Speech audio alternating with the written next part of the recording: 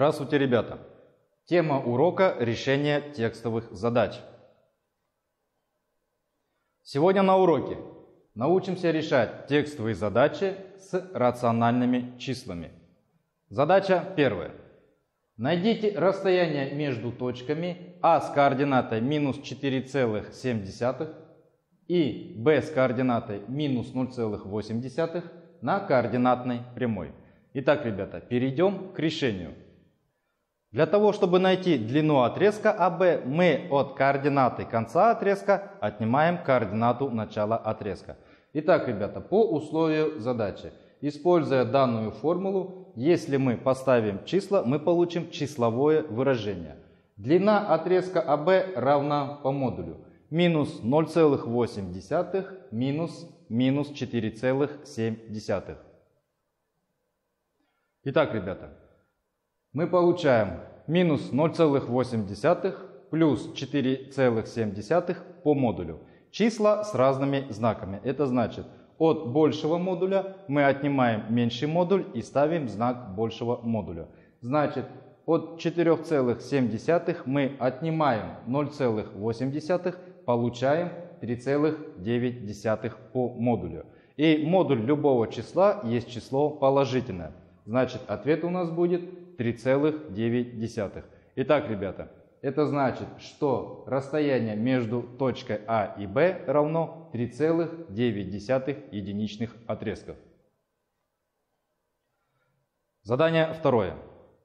Найдите расстояние между точками А с координатой минус 2,8 и точкой Б с координатой 3,7 на координатной прямой. Перейдем к решению. Также запишем формулу длины отрезка. Модуль АБ равен от координаты конца отрезка мы отнимаем координаты начала отрезка. Подставим вместо B и А э, числа. Мы получим следующее числовое выражение. 3,7 минус минус 2,8 по модулю. Обратите внимание, ребят, э, у нас идут два знака минуса подряд. Значит, получаем следующее выражение. 3,7 плюс 2,8 по модулю. Равно это 6,5 по модулю и 6,5 по модулю у нас будет равно 6,5. Это означает, что расстояние между точкой А и Б равно 6,5 единичных отрезков. Запишем ответ. Третье задание. Арман задумал число. К задуманному числу прибавил 23. Затем из полученной суммы отнял 14,5. И в результате получил число минус 76,2. Вопрос. Какое число задумал Арман? Ребята, перейдем к решению. За x мы обозначим задуманное число. Запишем следующее выражение по условию задачи. Нам сказано, что Арман к задуманному числу прибавил 23. Значит, мы запишем x плюс 23. Далее сказано, что от суммы полученной он вычитает 14,5. Значит, мы x плюс 23 возьмем в скобки. И в результате мы получим минус 76,2. Ребята, решим данное выражение. Получим, что x плюс 23 минус 14,5 равно минус 76,2. Мы убрали скобки. Далее нашли разницу.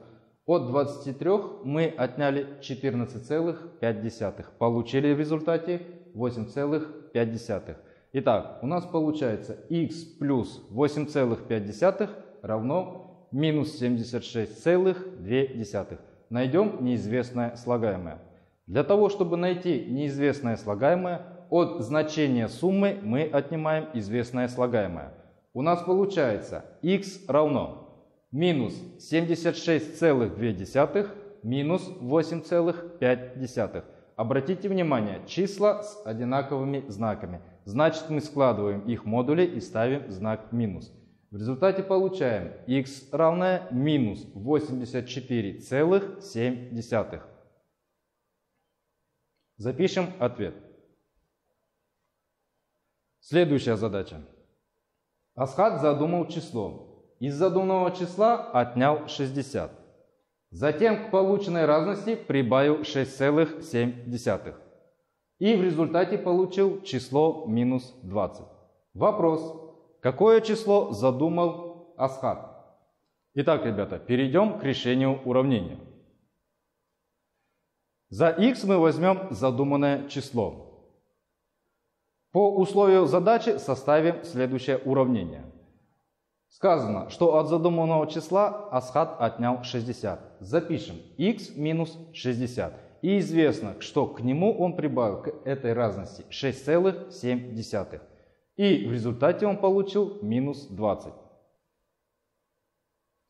Итак, уберем скобки. Мы получим x минус 60 плюс 6,7 равно минус 20. Найдем сумму. Обратите внимание, числа с разными знаками. Это означает, что от большего модуля мы отнимаем меньший модуль и ставим знак большего модуля. То есть от 60 мы отнимаем 6,7 и ставим знак минус. Получаем следующее выражение. x минус 53,3 равно минус 20. Итак, ребята, найдем неизвестное уменьшаемое. Для того, чтобы найти неизвестное уменьшаемое, мы к значению разности прибавим вычитаемое. Получим следующее выражение. x равно минус 20 плюс 53,3. Ребята, обратите внимание, здесь числа с разными знаками. Это значит, что от большего модуля мы отнимем меньший и поставим знак большего модуля. В данном случае мы от 53,3 отнимаем 20 и ставим знак плюс. Получаем, что x равно у нас 33,3. Запишем ответ. Ответ Асхат задумал число 33,3. Задание пятое. На 12 гектар пашни было посеяно 21,6 центнера зерна. Вопрос к задаче таков. Сколько зерна потребуется, чтобы посеять 5 гектаров пашни? Перейдем к решению. Первое действие. 21,6 разделим на 12. Мы получим 1,8 центнера зерна потребуется на 1 гектар. Следующее. 1,8 мы умножим на 5. В результате получим 9 центнеров зерна потребуется на 5 гектар. Запишем ответ, что на 5 гектар нам всего потребуется 9 центнеров зерна. Задача шестая. На изготовление 300 тетрадей требуется 25,8 кг бумаги. Сколько бумаги нужно для изготовления 750 тетрадей? Перейдем к решению. Первое действие. Вначале мы 25,8 разделим на 300. В результате мы получим 0,86 тысячных килограмм потребуется на одну тетрадь. Следующее действие. 0,86 тысячных мы умножаем на 750. В результате мы получаем 64,5 килограмм. Итак, 64,5 килограмм потребуется для изготовления 750 тетрадей. Запишем ответ. Задача седьмая. Собственная скорость лодки равна 7 км в час, а скорость течения реки равна 2,5 км в час. Лодка проплывает по течению за 2 часа. Вопрос. Найдите длину пути, пройденного лодкой. Перейдем к решению. Итак, ребята, первое действие. 7 плюс 2,5. Мы получаем 9,5 км в час. Это у нас скорость лодки по течению. Следующее действие. 9,5 мы умножаем на 2.